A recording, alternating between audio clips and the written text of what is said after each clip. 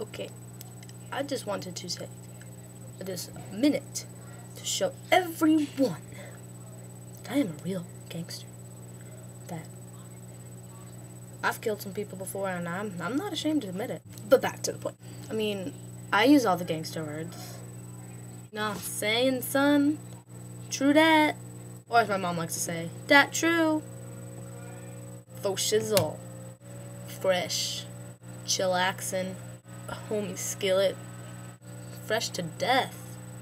Peace out, Girl Scout. Home dog. I.